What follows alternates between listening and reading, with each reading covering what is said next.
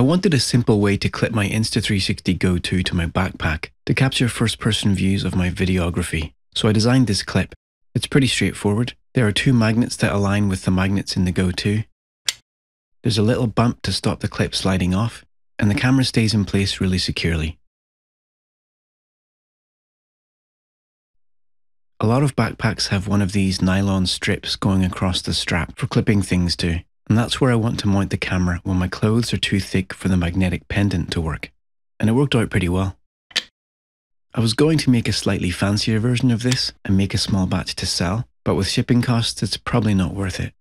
Anyway, if you have the same issue where the pendant isn't secure enough under thick clothes, try mounting it to your backpack strap instead. That's it for now. I'll see you next time.